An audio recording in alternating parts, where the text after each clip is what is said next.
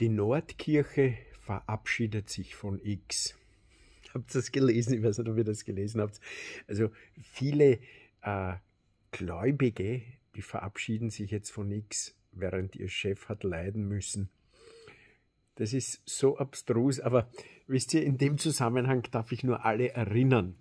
Ich weiß nicht, ob ihr diese Geschichte kennt. Der damalige Papst Damasus, ich glaube, er hieß Damasus, der befahl Hieronymus, äh, aus ganz speziellen Evangelien, nämlich nur vier Evangelien. Es gibt so um die 30 Evangelien, Schriften und und und. Aus diesen vier befahl er, Hieronymus, schreib eine lateinische Bibel. Und da gibt es sogar noch Briefe, wo Hieronymus, dem damaligen Papst Damaso, schreibt, du, so nach dem Motto, du, ich täte ja gern, aber die, die sind so unein, uneinheitlich, diese Schriften, die ich da habe, dass ich eigentlich nicht wirklich viel schreiben kann. Zudem hat er sich beschwert, dass er aufgrund von Vorgaben der damaligen Kirche äh, gewisse Übersetzungen weglassen soll. Und vieles hat er dann auch gar nicht erwähnt, weil er um sein Leben gefürchtet hat, dieser Hieronymus.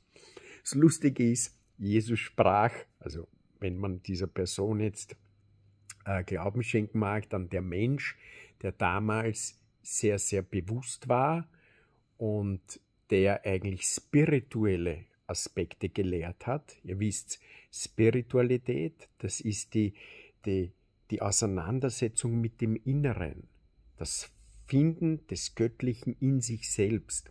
Die Religion, das ist die Beschäftigung im Äußeren, wo man dann eine Vorgabe bekommt und nur durch diesen oder jenen Pfad findet man das, äh, das Göttliche.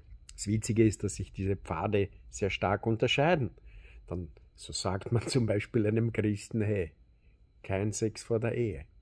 Und wenn, dann nur eine Frau heiraten und beten sollst du zum Himmel. Hingegen sagt man dem Moslem, hey, vier Frauen, ist überhaupt kein Problem. Aber äh, beten sollst du bitte zum Boden. Ja, ja. Es hat natürlich kein System. Es dient nicht zur Spaltung der Menschen. Aber dieser Hieronymus, der hat sich also beschwert, weil äh, die Schriften alle uneinheitlich waren und Jesus, diese fiktive Person, um die man dann Geschichten entwarf, der sprach eigentlich Armenisch. Der sprach gar nicht äh, Lateinisch oder Griechisch. Die Evangelisten sind ja überhaupt super. Ne? Die haben es aus der Griechisch, die haben griechische Evangelien sich zugute führen lassen. Ja, also ihr seht, es ist eine riesige Show und diese Show, die, die, die, die, die Spitze dieser Show, die merken wir heute. Woran? Eine Kirche die X verlässt, weil sie ein paar störende Kommentare bekommt. Ich meine, der Chef wurde ans Kreuz genagelt und hat sich peinigen lassen und und und, aber die Kirche, also mit ein paar Kommentaren, mit dem wäre ich nicht fertig. Überdenken wir alles.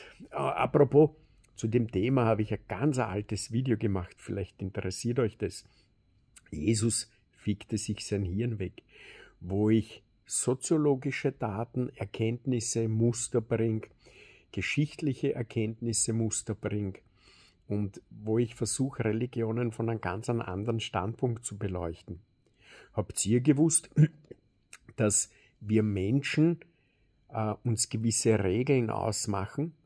Und damit wir diese Regeln im alltäglichen Leben nicht vergessen, knüpfen wir sie an materielle Symbole das war der Beginn des Totemismus. Und umso bewusster die Gesellschaft wurde, umso menschenähnlicher wurden die Symbole, an die wir diese fiktiven Regeln gebunden haben.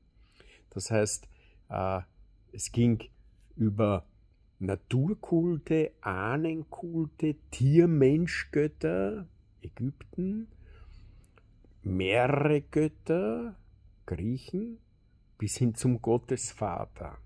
Bei den abrahamatischen Religionen ein Gott. Äh, dabei hat man Geschichten entworfen, denn wie scheint war ja die Geschichte eine andere. Es gab hier eine Hochkultur. Die wurde zerstört. Eine weltumspannende Hochkultur. Und nach der Zerstörung gab es dann nur noch so Rudimente äh, vom Wirken der Menschen. Und den einen gab man den Namen die Griechen, den anderen die Ägypter und den anderen wiederum und hat dann Geschichten entworfen, hat sogar ein paar tausend Jahre, ein paar hundert Jahre dazu gedichtet und hat, wie es scheint, äh, uns mit Religionen was ganz was anderes erzählt. Man hat uns dazu gebracht, dass wir uns noch mehr spalten, dass wir noch mehr im Äußeren suchen und uns eigentlich vom wahren Kern, von der eigenen Spiritualität entfernt. Aber wir sind gut unterwegs, denn wir überdenken alles. Alles Liebe euch.